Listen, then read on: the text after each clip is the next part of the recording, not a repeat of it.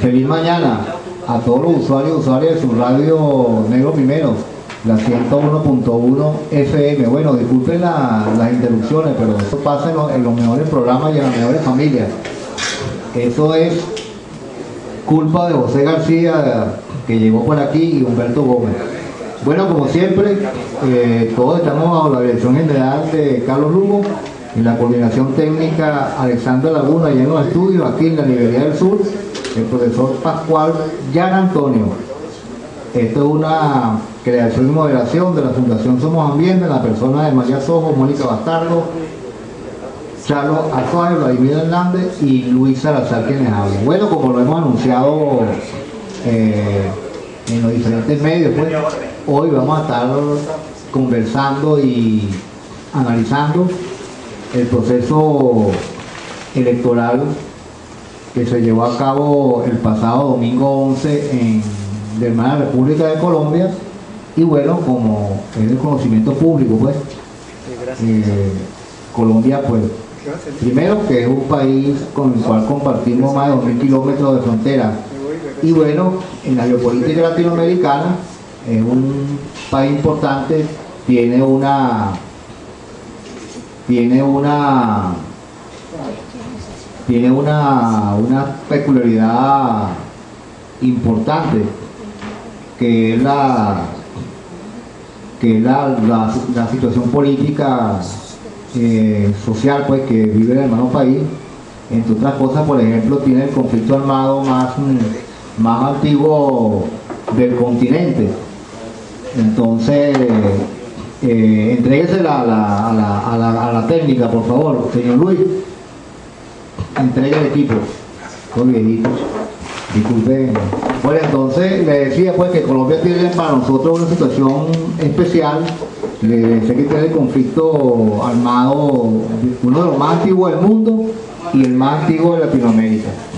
Eh, por otra parte, bueno, eh, en Venezuela cohabitan con nosotros unas 5 millones de nacionales colombianos, que es una situación única en el mundo. No hay otro país que tenga otro o tal cantidad de connacionales en su país. Y bueno, eh, para subrayar, pues gozan de los mismos beneficios y, derechos de los venezolanos.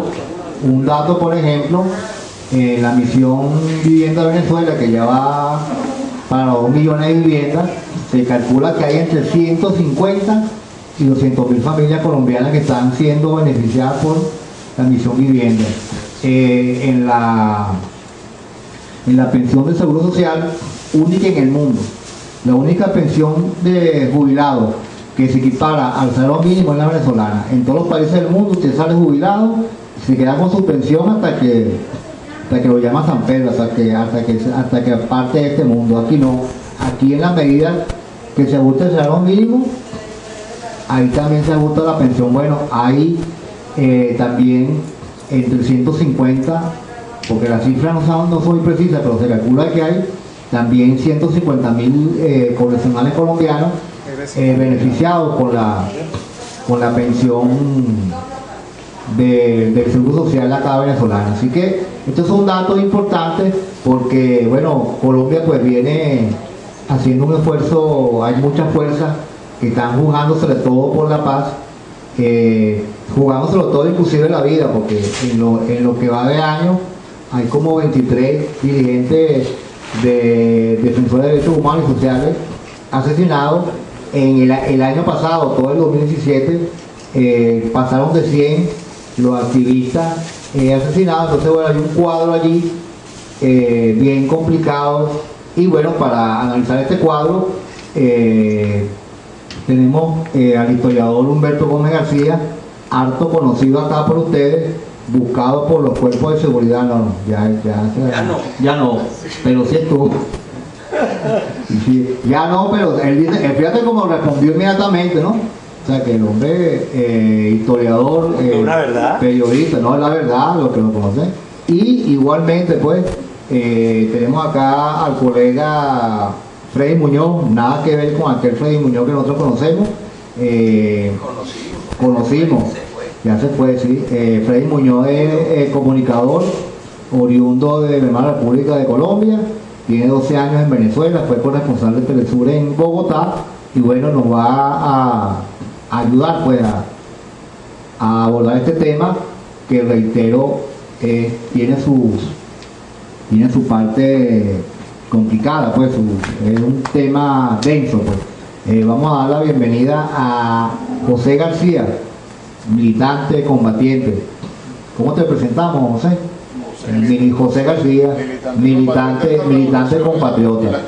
Aquí le, ¿cómo es? Navarro de la esquina caliente y bueno, y Luis Rojas del Tribunal Popular que ya es constitucionario y todo el grupo acá, el profesor Nelson Hernández, el hombre de los, de los trenes y Víctor Carrillo. No, este, este es Freddy Muñoz. Mira, Humberto, déjate de eso y danos una semblanza aquí geopolítica de Colombia.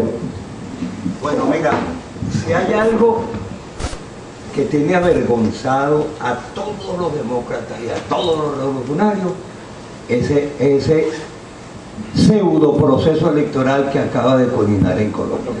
No hay nada más vergonzoso, ¿no? Cuando uno ve a ese hipócrita que es el presidente Santos pidiendo democracia y que no va a reconocer el hecho electoral que aquí se desarrolla y el resultado que ya está anunciado hace rato de que va a ser Nicolás el presidente, ponen la torta que han puesto. Porque eso está, ese es el preludio de unas elecciones presidenciales. Ya podemos suponer cuando aparece un cascajo como Uribe proclamándose ganador, vemos que el fraude, cómo compraron los votos, pero es que eso es descarado. Anoche lo presentó eh, en la ovilla, la, la, compra de votos, el fraude, pero es que es tan descarado, no se, no se guardaron la forma. Y como colofón, en un país donde están inscritos treinta y tantos millones de votantes, de los cuales votará el 30 o el 40%, no habían papeletas. Ahí no hay papeletas para votar. No pudieron hacer 20 millones de papeletas o 30 millones, no pudieron. Entonces recurrieron a un expediente insólito, como es la fotocopia. No, traiga su fotocopia y con eso vota. Eso no, eso no tiene... Y, pero además los cómputos los transmitían telefónicamente. Es decir, ahí hay que escribir un libro que se diga cómo no se deben realizar unas elecciones o cómo se deben hacer unas elecciones fraudulentas. Eso es una bofetada para el pueblo colombiano, eso es una befa desde cualquier punto de vista, una burla que el pueblo colombiano no merece eso. Realmente expone al desnudo el agotamiento del modelo neoliberal, el agotamiento de esos pseudopartidos que ya cumplieron una función. Cuando la oligarquía se lanza por ese camino del el fraude abierto y descarado, ¿qué va a quedar? ¿Quién va a confiar en unas elecciones cuando Petro iba ganando todos los, votos de Petro, las papeletas están votadas en los, en los vertederos de basura. Eso, es, insólito que no, no, no, no, no, no entra dentro de la lógica más sensata, más coherente de cualquier, por eso decía, el bochorno de los demócratas, de los revolucionarios, del movimiento popular. Y nosotros bueno, estamos súper sobrados. Le hubiesen pedido ayuda al CNE que de repente le, lo hubiese orientado de cómo se hacen unas elecciones limpias. Eso porque viven destacando la inutilidad o la, o la falta de transparencia de nuestro quinto poder que es el CNE para venirnos con aquella con, esa desfachatez de, de elecciones. De manera pues que yo sí pienso, como dijo Jorge Rodríguez, ¿por qué no interviene la OEA? ¿Por qué magro que anda tan preocupado, al mugre, perdón, tan preocupado por, por el proceso venezolano, no dijo nada, como tampoco dijo con el superfraude, el megafraude de Honduras. Entonces, esas son cosas que los pueblos deben ver, porque quien está cercada, quien está agredida es Venezuela. Precisamente por esos partidos, por esos países y por esos gobernantes que cometen esa desfachatez. Gracias, Humberto. Vamos a quitar este aparato porque creo que está obstruyendo la libre comunicación. Gracias, Charlo. Bueno, fíjense, eh, vamos a recordar que tal día como hoy, hace cinco años, fueron trasladados los restos del comandante eterno Hugo Chávez al cuartel de la montaña. Hoy culminan la semana de recordatorio y desde acá de este programa, pues, eh, nos sumamos a, esas actividades. Y recordamos que mañana tenemos acá a la misma hora, las 11 de la mañana, un conversatorio con el filósofo Miguel Ángel Pérez Pirela sobre precisamente eh, Chávez como filosofía. Aunque ya dijo que Chávez, lo dijo en el, en el sepelio, que Chávez era una cultura. Y ese no es cualquier personaje, ¿no? El presidente de Irán, Ahmadinejad, filósofo y profesor universitario. Bueno, eh, también vamos a inaugurar los Twitter hoy de Aquiles se pueden comunicar con nosotros vía Twitter por arroba 33 y también por arroba negro 1, que es el Twitter de negro primero. Bueno, ahora sí, pues vamos con, con Freddy Muñoz. Gracias Luis. Primero que todo, eh, agradeciendo la invitación y un saludo muy cordial a todos los oyentes de esta radio, a todas las personas que estamos llegando el día de hoy. Eh, si, si me pasó por alto un pequeño detalle pero un pequeño detalle grande, que Freddy Muñoz es miembro de la Comisión de Comunicación del Partido Faro. Bueno, sí, ahí vamos formando eso que viene después, después de, la, de la dejación de armas en Colombia, un escenario difícil. Bueno, eh, lo que está sucediendo en Colombia y que ha sorprendido a Latinoamérica y al mundo en general, a los demócratas del mundo, a los revolucionarios del mundo, tiene su origen en algo particular y es que eh, el punto fijismo y el frente nacionalismo en Colombia fueron una misma cosa en Colombia y Venezuela, ¿no? Esa alternancia de los partidos de derecha en el poder para cerrarle el camino a la izquierda. Estas dos, estas dos formas ¿verdad? De, de acaparar el quehacer político de nuestros países originó unas leyes electorales que aún en Colombia no han sido reformadas. Es decir, en Colombia todavía se elige tal y como el Frente Nacionalismo, que es el punto fijismo venezolano, diseñó las normas electorales. En Venezuela no. En Venezuela y en otros países latinoamericanos, en los que vinieron eh, gobiernos de avanzada, gobiernos influidos por la marejada de la izquierda, ¿verdad? Y los revolucionarios del continente, han habido reformas importantes en la manera de escoger a los representantes democráticos porque la izquierda no ha renunciado a la representatividad. Seguimos pensando en el voto, seguimos teniendo el voto como herramienta para llegar al poder. En Ecuador hubo una reforma importante, en Bolivia la hubo aún más, en Bolivia, en Bolivia se vota con el biotipo, ¿verdad? Hay que comprobar biológicamente, físicamente que el votante está ahí, con la retina o con la huella, igual aquí en Venezuela también. La digitalización del voto en Venezuela es, una, es algo de avanzada en todo el continente incluso para las elecciones en los Estados Unidos y para muchas elecciones europeas. Entonces, esto sorprende, lo de Colombia sorprende porque Colombia queda en un rezago, utilizando las mismas normas y los mismos elementos de votación de hace 60 y 50 años. ¿Ves? La misma, la misma papeleta, el mismo papelito incomprobable, porque el papel no lleva ninguna marca que pueda decir es el papel de Luis Salazar o el papel de Freddy Muñoz. El papel se deposita luego de que usted firma un cuaderno que no sabemos qué suerte corre. Y al final de la jornada, esa urna que está ahí puede recibir tantos papeles como a los jurados de mesa les dé la gana, cosa que vimos en los videos de estos días, ¿no? Es que eh, o, está preñado, como dicen en Centroamérica. Claro, fíjate, en un, en un, proceso, en un proceso en donde hubo el 72% de abstención en algunas ciudades.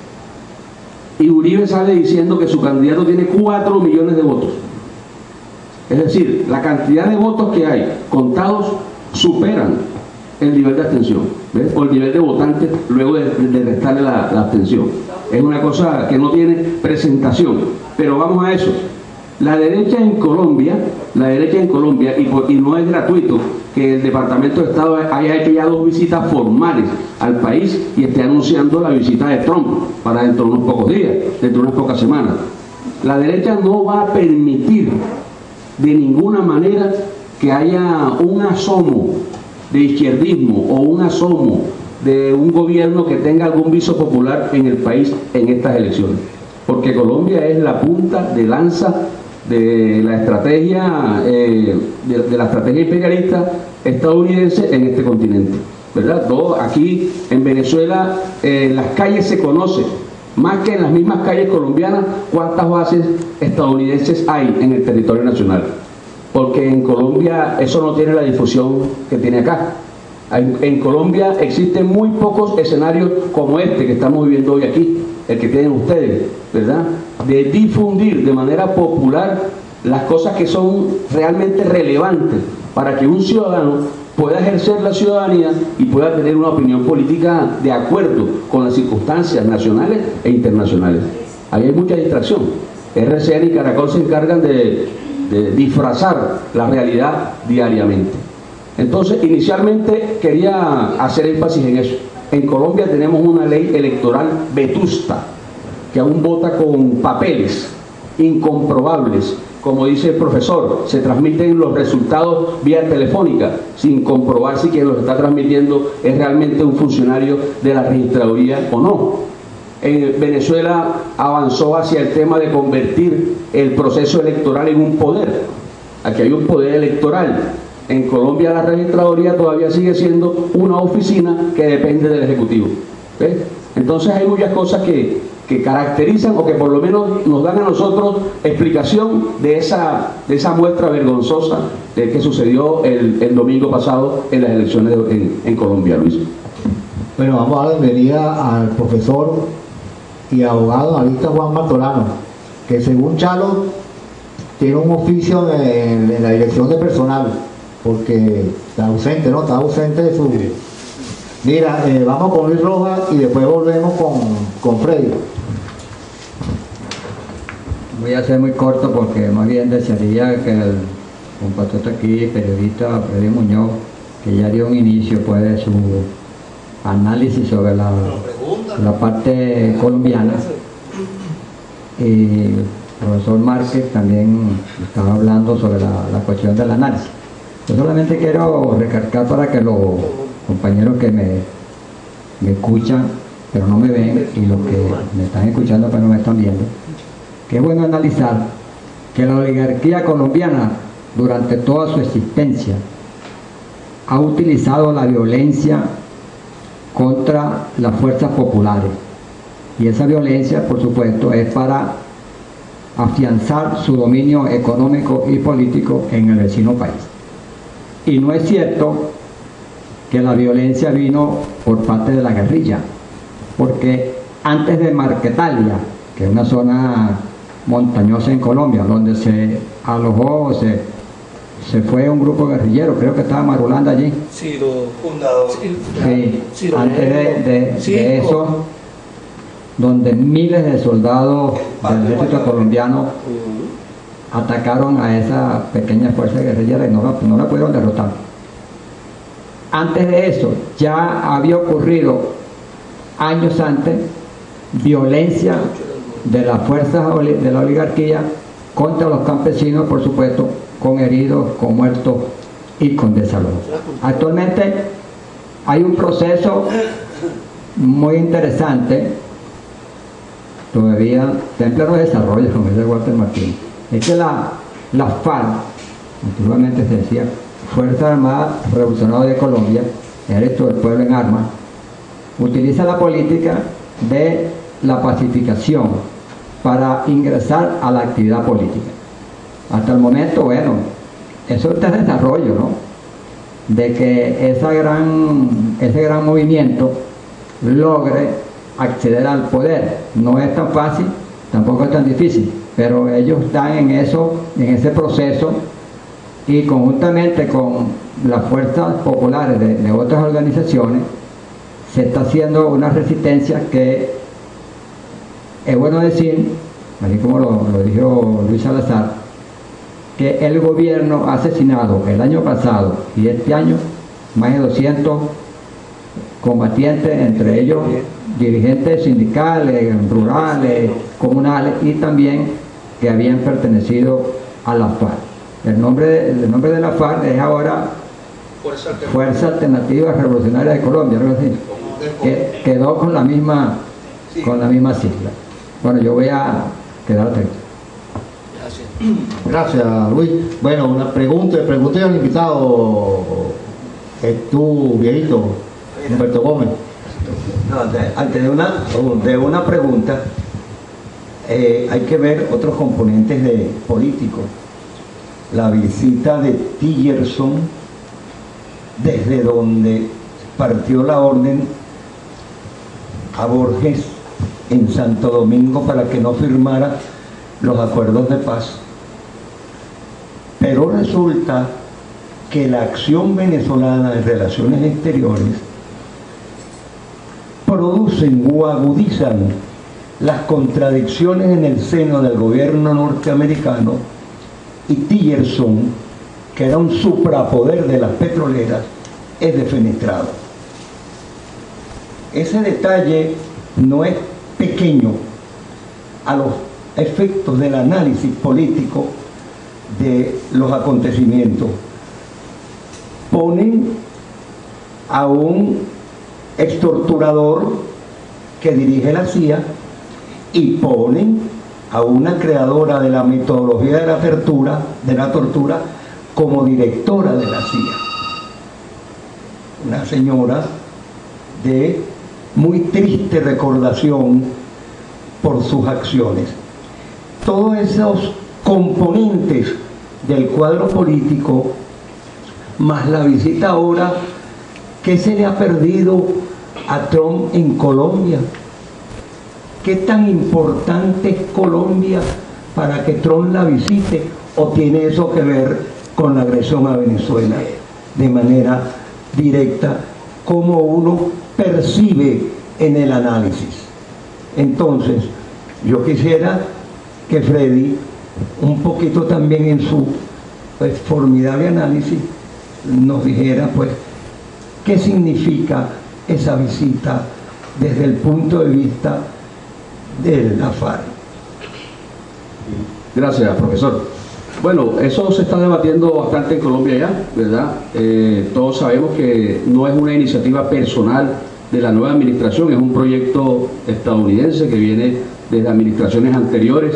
Ese proyecto tiene mucho que ver con Venezuela, tiene mucho que ver con lo que ha sucedido en Siria y Libia.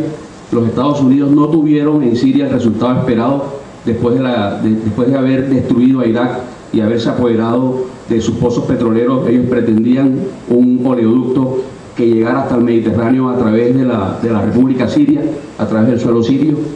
Para eso crearon el Estado Islámico, para eso destruyeron también ese país. No pudieron porque afortunadamente la presencia rusa equilibró, equilibró el, combate militar, eh, dio al traste con las intenciones de crear el, oleoducto directo Irak-Siria hacia el Mediterráneo. No, han podido sacar este, demasiado petróleo de, Siria todavía, eh, perdón, de, de Irak todavía. Y la opción de petróleo para este siglo y el que viene, porque ellos piensan así, muy a largo plazo, es Venezuela. Entonces, dejar, dejar muy bien este, constituidas las bases de una agresión hacia Venezuela por su riqueza petrolera es la tarea de este presidente. Y dentro de esa agenda está también el tema de abortar los acuerdos de paz. Abortarlos porque los acuerdos son, que, entre otras cosas, están ensombrecidos por toda, por toda esta, esta, esta eh, variedad noticiosa del proceso electoral. En Colombia ahora mismo no se, habla, no se habla del acuerdo de paz, ni en qué estado está, ni de la obligación que tiene el Estado con el acuerdo de paz, ni se prohibió o por lo menos se le puso una talanquera a la gran movilización popular que el acuerdo de paz debió suscitar, porque en cualquier país con 60 años de guerra, un acuerdo de paz como el que ocurrió en Colombia hubiera suscitado una participación en las calles, en los pueblos, en las ciudades, ¿verdad? De todo nivel, para reconstruir o para, o para- para refundar un país que viene de una guerra. que viene cansado de una guerra como, como la colombiana. Entonces, esto, todo esto, este fenómeno electoral tiene a la derecha muy contenta también porque está opacado el acuerdo de paz. Y dentro del acuerdo de paz hay obligaciones para las multinacionales que pretenden el subsuelo colombiano también.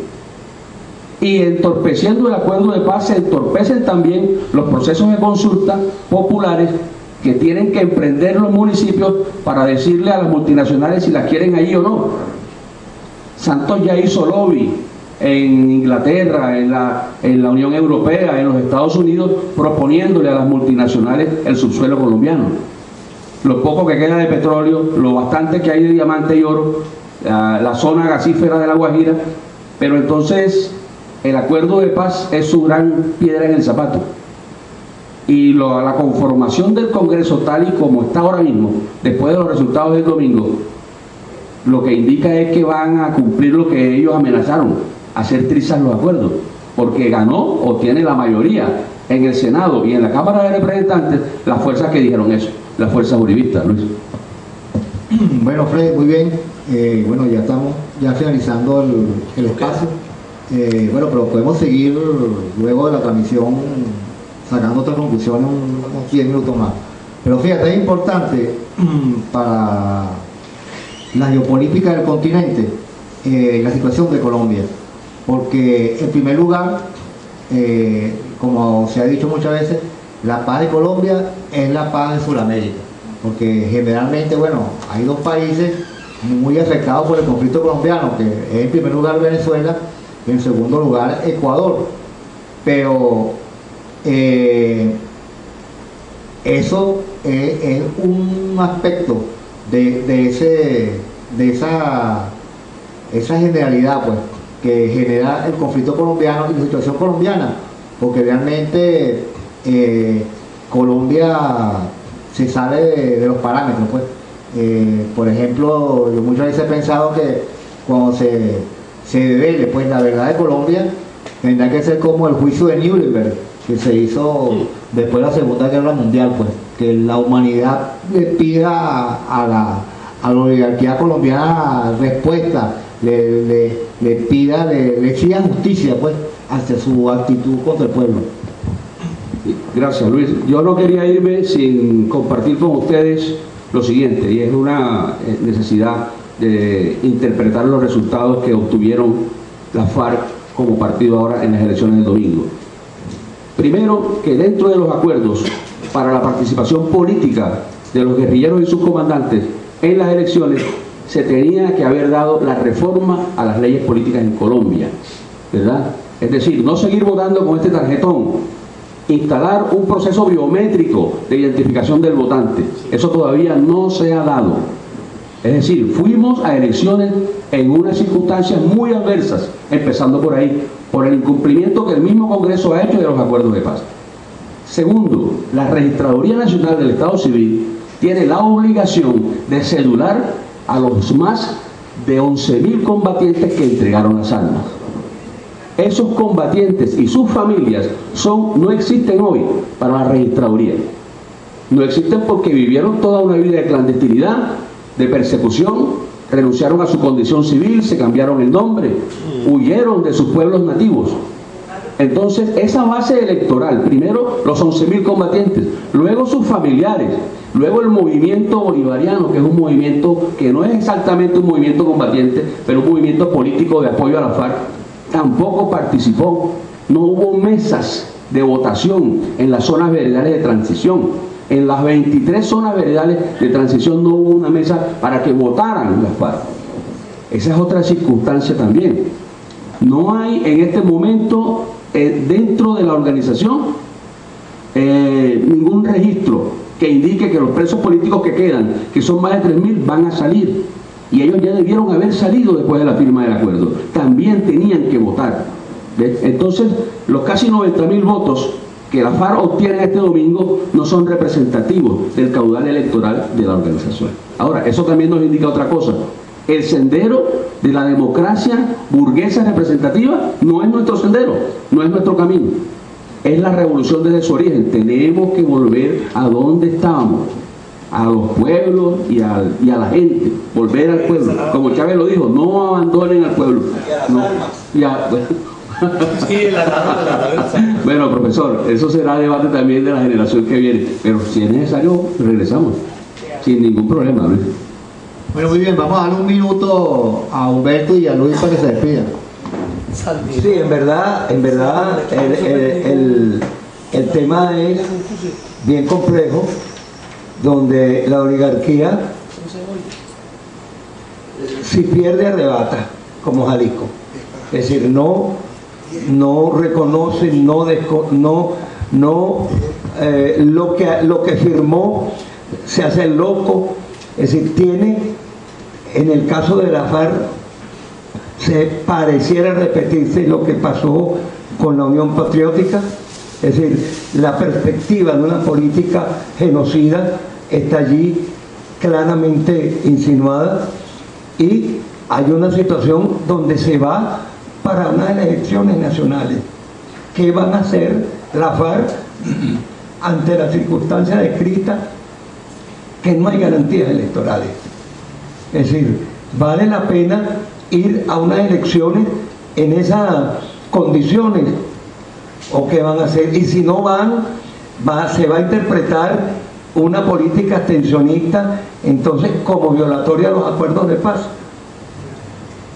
Yo quisiera hacer una pregunta sobre eso.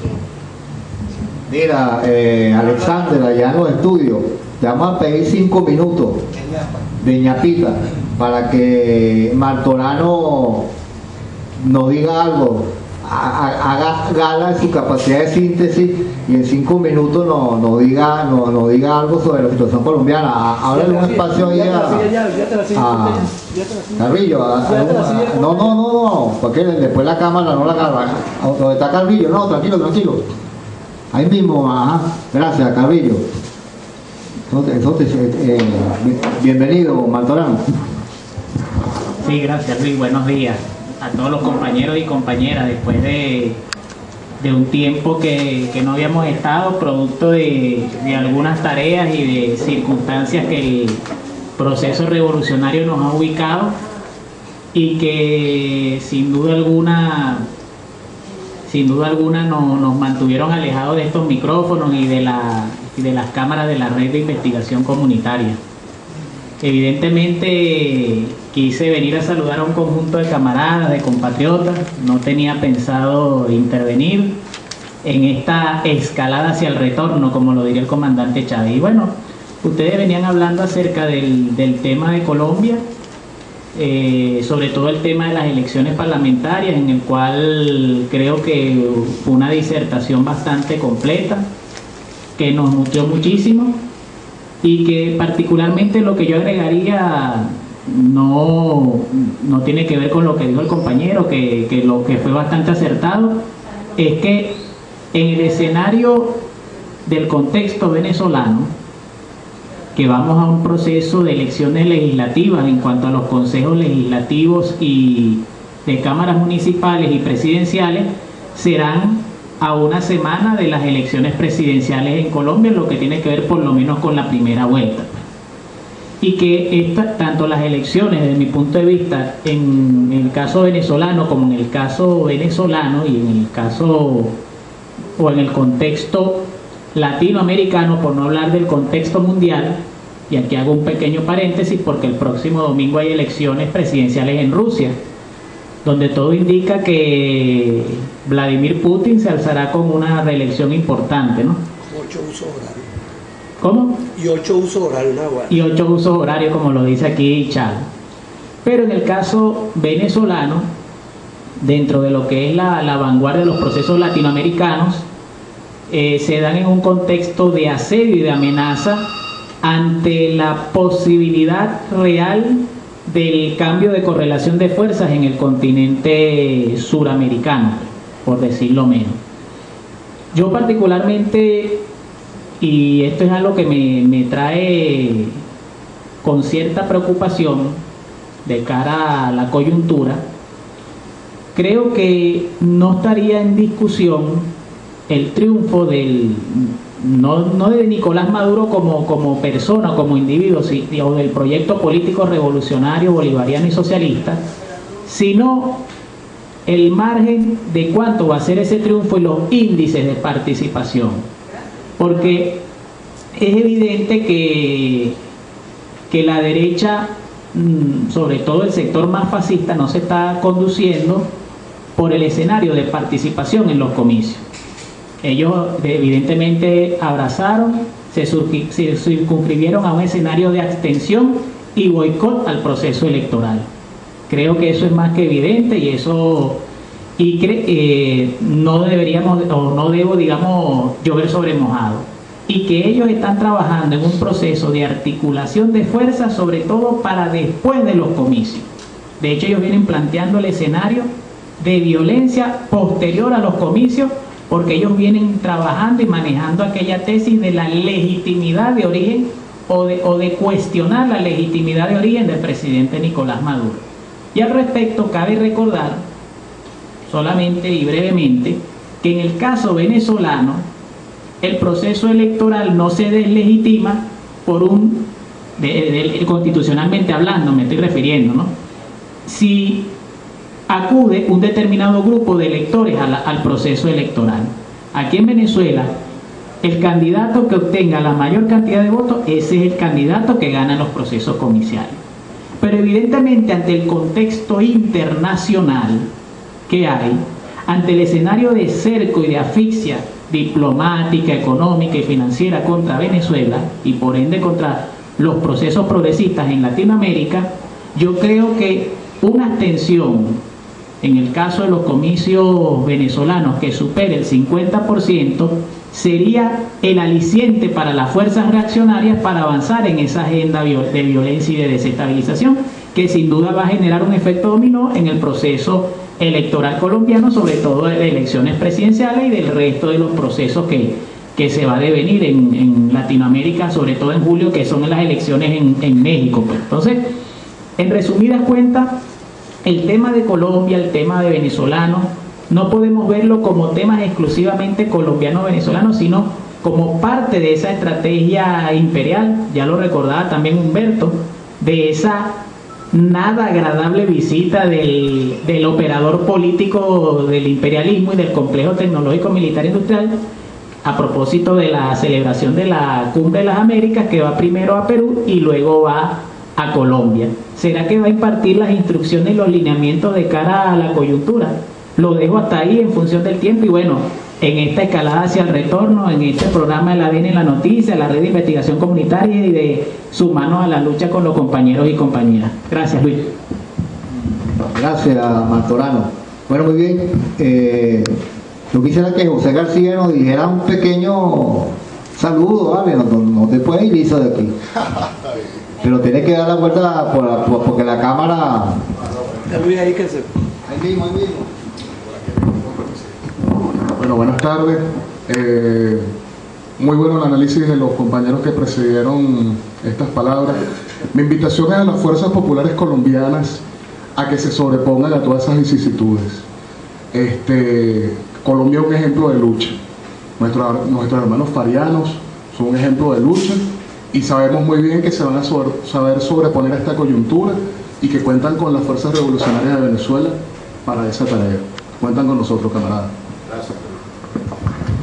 Muy bueno, José. Bueno, rapidito, el tubazo literario, este, este por, por- por materia de charla, pero estamos sobre el tiempo.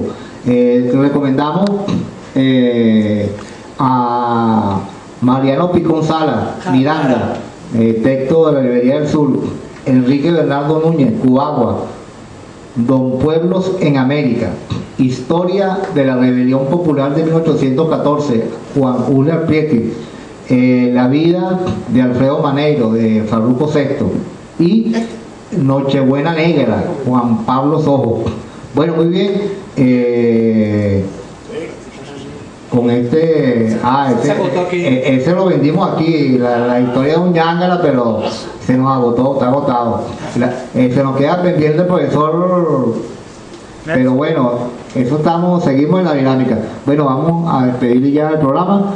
Todos estuvimos bajo la dirección general de Carlos Lugo, la coordinación técnica Alexander Laguna, acá en los estudios Pascual y Antonio. Esta es una creación y moderación de la Fundación Somos Ambiente, la persona de María Sojo, Mónica Bastardo, Charlo Azuaje, Vladimir Hernández, Luis Salazar, Luis mm, Rojas, gracias a Humberto Gómez García, gracias a Freddy Muñoz de la, de la Comisión de Comunicación del Partido FAR y a todos ustedes, bueno, los invitamos para el próximo jueves a esta misma hora y mañana, bueno, no podemos hacer un pase, pero no tenemos eh, chance de transmisión, pero los invitamos para que nos acompañen a las 11 con el profesor Miguel Ángel Pérez Pirela, el, el mismo del Iguana de Cayendo y Corriendo, en un conversatorio sobre la filosofía chavista. Muy bien, pásenla bien y llévatela, Alexander.